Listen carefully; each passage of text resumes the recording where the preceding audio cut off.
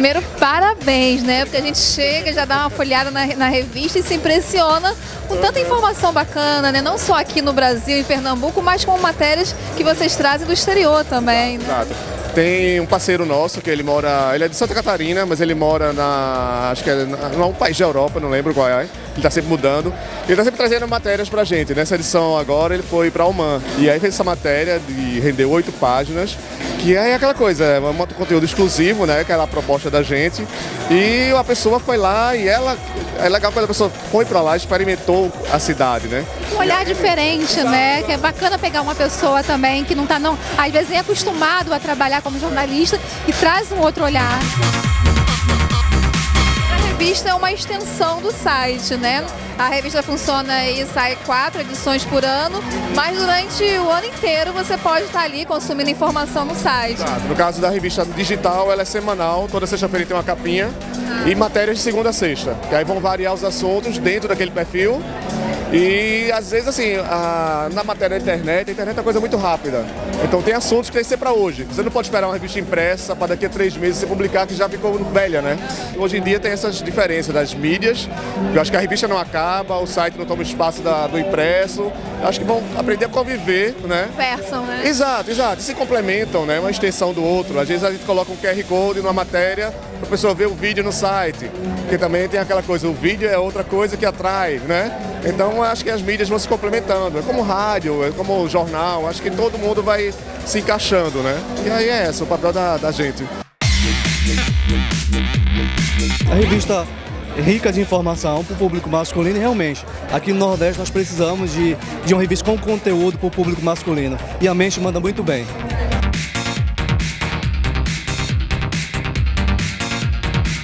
E olha só que prestígio, a revista Mês foi convidada para cobrir com exclusividade, né? Várias matérias bacanas lá no México. Fui fazer gastronomia.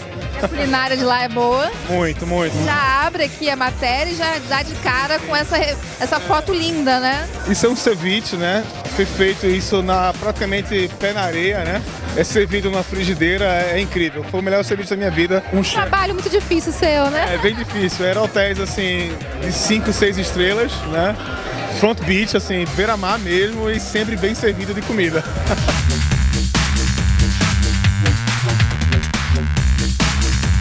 Outra matéria super interessante é com o Eduardo Neves, que é um atleta amador. Você se diz atleta amador, mas de amador você não tem nada é amador pelo fato de você estar tá praticando algo por diversão. Agora, é um prestígio para você ver toda a sua vida, todo o seu trabalho, as suas atividades sendo registradas aqui pela revista Mente? Para mim foi uma satisfação muito grande. Eu venho acompanhando a revista já há algum tempo e tive o prazer de conhecer a André através de, de uma amiga em comum. E foi quando ela falou da minha, da minha história para eles, eles se interessaram. Aí eu forneci todo o material, foi bem legal. E a matéria ficou fantástica.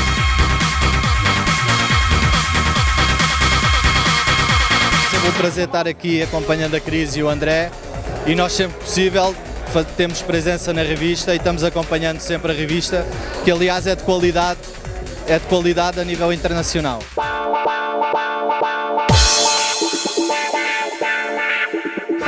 Parabéns, a revista tá linda, né? 12 segunda edição filho que nasce, né? Mais um filho, né? E assim, ela realmente tá, tá emblemática. Eu acho que a gente está num momento bem positivo da revista. As capas são muito bacanas. A gente tá com o Alexandre Nero numa entrevista bem polêmica, que é o estilo dele, né? O estilo lá Nero, botando fogo em tudo. Estamos com Cris Viana e matérias maravilhosas, gente, recheando aí o conteúdo. Bem bacana. Seguir Alexandre Nero nesse auge que ele tá é realmente um luxo, né? Ele, mas ele já foi nossa capa, então ele gosta da revista. Mas qual é o diferencial aí? Porque vocês conseguem abordar um público que é tão difícil, né? Que é o público masculino. Pra você que é mulher, como é que você consegue chegar nesse universo?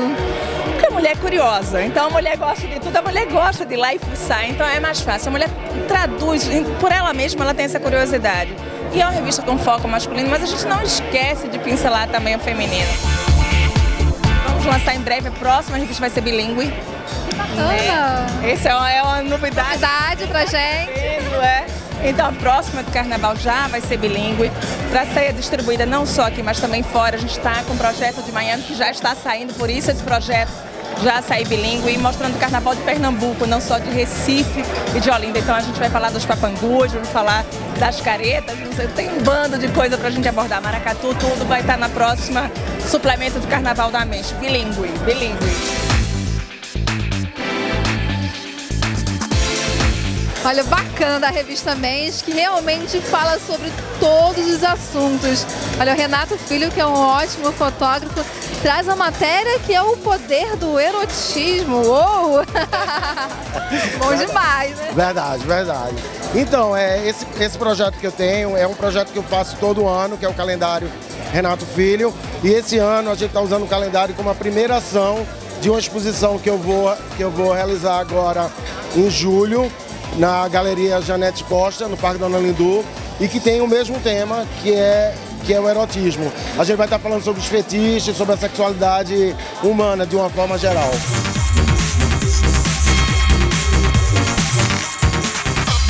Tem um suplemento aqui especial só sobre o Noronha que você produz com muito carinho, né? Isso, esse foi o último que a gente está lançando em dezembro e janeiro. E esse ano a gente está previsto para uma edição assim, de ouro. A gente vai ficar com uma edição mais recheada, com mais informações sobre a ilha. Vai ser bem legal. A gente tem algo mais para a gente poder divulgar com seriedade e mostrar o nosso destino maravilhoso para todos esses brasileiros e para o mundo todo. Né?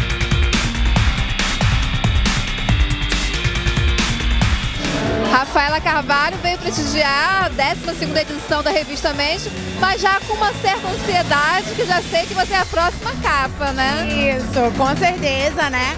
É, em breve eu vou estar por aqui no novo lançamento com a edição de carnaval e aí eu vou estar na capa e aí vamos todos na expectativa e eu também estou morrendo de ansiedade.